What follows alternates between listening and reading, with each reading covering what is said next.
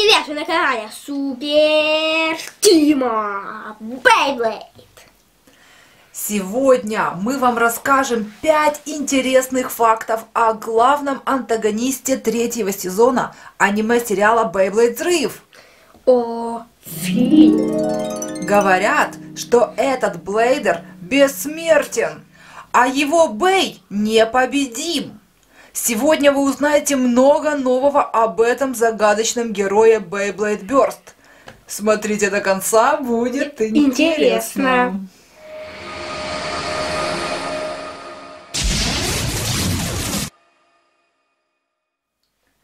Фи – главный антагонист аниме-манги Beyblade Burst Turbo. Он появился в 13 серии третьего сезона мультсериала и сразу бросил вызов Волту Аои на его титул. Итак, факт номер один.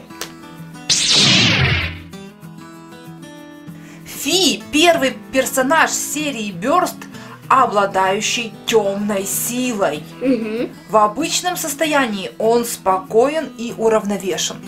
Но когда просыпается темная энергия, склеры глаз Фи становятся черными, голос искажается, а аура меняется с огненно-красной на темно-фиолетовую.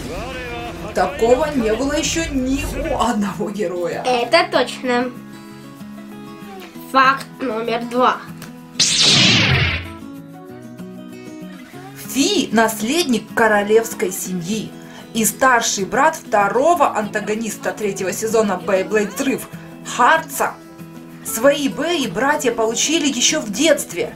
Причем Фи и Хартс захотели один и тот же Бэй – Dead Hades. Но младший брат оказался более шустрым и первым взял Бэй. После этого конфликта отношения между братьями испортились и до сих пор остаются напряженными. Поэтому получается Фи наследник королевской семьи, то есть принц. Вот так вот. Факт номер три. Так как Бэй Дед Хедис забрал Хартс, Фите достался возрождающийся Феникс. Этот Бэй обладает сильными защитными качествами. На его энергетическом слое есть съемный диск, который блокирует удары соперника. Вот он. Кроме того, этот диск Феникс умеет сбрасывать, после чего он становится более легким и быстрым.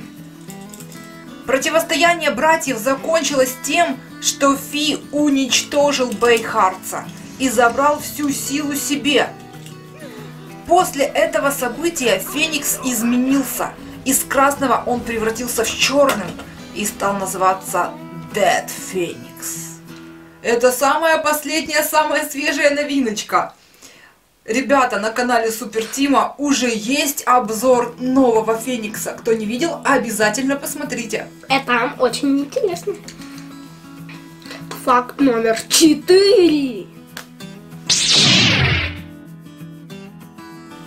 У Фи очень необычная внешность.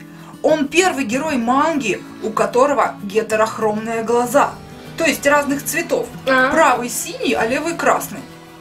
Гетерохромные глаза также и у его брата, но в мультфильме он появился вторым. А еще у Фи длинные белые волосы, и он носит серьги. Еще очень интересно его преображение после уничтожения Дед Хейдиса. Одежда его стала удивительно похожей на наряд Шу, Курыная. Да. Правда похожа? После того, как он стал одержим Спрайзеном, да? Да. Факт номер пять. Последний факт на сегодня. Фи родился в високосный год и празднует свой день рождения в високосный день, 29 февраля. А То это, есть, а это бывает раз на четыре года. это точно. В этом году 28 дней в феврале, поэтому день рождения Фи мы будем праздновать не скоро. Но запиши, все равно очень интересный факт. День рождения Фи 29 февраля. Высокогорный год. Ставьте лайки, лайки, лайки, лайки. И подписывайтесь на канал Супер Тима Бейблейд и на канал Супер Тима. И вы узнаете много интересного о героях и не только.